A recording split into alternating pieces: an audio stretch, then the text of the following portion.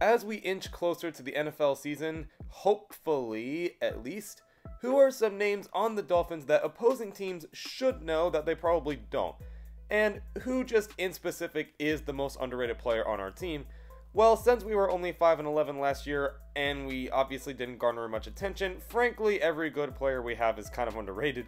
But key names to me are players like Preston Williams. He had a number 1 wide receiver type season before he got injured in week 9. Raekwon McMillan has actually been playing very well for us. Not many people have probably noticed, but him and Jerome Baker have been a very good linebacker duo, and now we're getting that trio with Kyle Van Noy.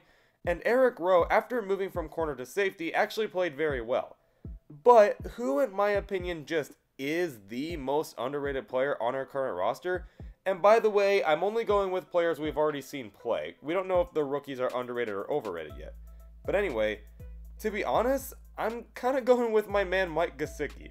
I, he still doesn't get that much attention, and I feel like he deserves a little bit more from it. The only thing he struggles with is blocking, but we all knew that. We knew that heading into his rookie year.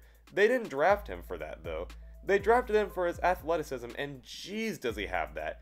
He might not have delivered much in his rookie season as most rookie tight ends don't, but in year two, I mean, come on, you're telling me that isn't impressive, all the stuff he's done? Why isn't he in the conversation of being one of the top tight ends in the league, at least athletically? Like, I feel like him and George Kittle are the most athletically gifted tight ends in the league. Hopefully, he does better in year three, which I think he can, and I think he will, actually. If that's the case, then maybe people will start to recognize him a little bit more.